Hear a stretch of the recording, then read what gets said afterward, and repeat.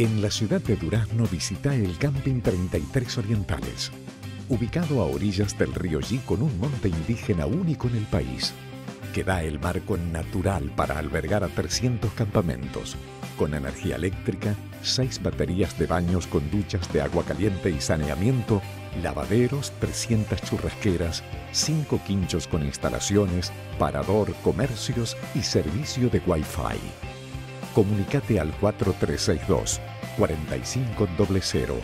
o visitanos en nuestro Face y canal YouTube Intendencia de Durazno.